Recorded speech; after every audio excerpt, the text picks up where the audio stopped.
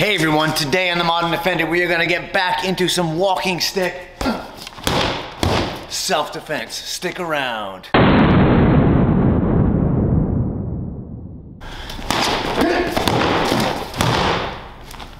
Hey everybody, Dan with the Modern Defender. Today we're going to work on a five strike progression using the walking stick. There's one thing I want you to really think about and remember that is this walking stick is a tool. It is an extension of your ability to defend yourself. Okay, and it's not just for striking.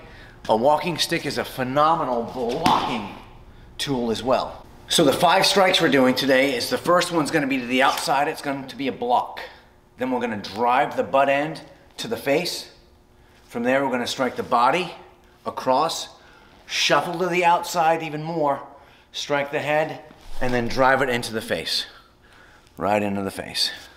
So I'm gonna go one, two, three, shuffle out four, and bam, five. The whole time I'm moving off the line and continuing to get to the outside. So he's coming at me along this line. As I block, I want to step off the line, knock the offending limb away. My stance and my hands are now set up for my driving strike, followed up by another strike to the body, shuffle, shot to the side of the head, and then one more to the face. Let's try that again. So one, two, four,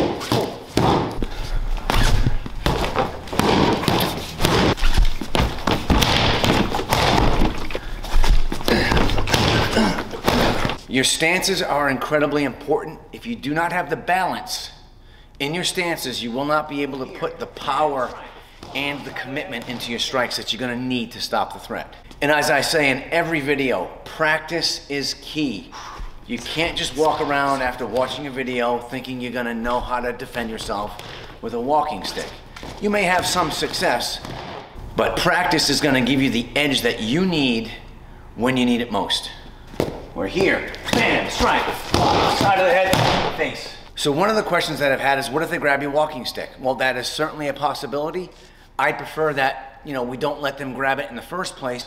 So a circular motion with the stick is a way to get them to release it. But you do not want to be fighting now over your stick with somebody who may be bigger than you. They may have another weapon if you're serious about being a modern defender, and that's what this channel is all about, taking steps that most people don't, giving yourself an edge in the event of a violent encounter, you need to have a well-stocked self-defense toolkit. You need to have empty-handed skills. Carrying pepper spray is certainly going to be something that you're going to want to consider doing. So these are all things that you should definitely consider if you truly want to have an edge in the event of a violent encounter. And if they did grab your walking stick, this is a situation where your empty-handed skills are very important.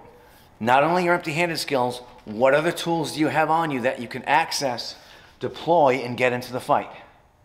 Hey, I hope you guys enjoyed this video on walking stick self-defense. Please hit me up in the comments, like and subscribe. I'll see you next time on The Modern Defender. Stay safe out there, everybody.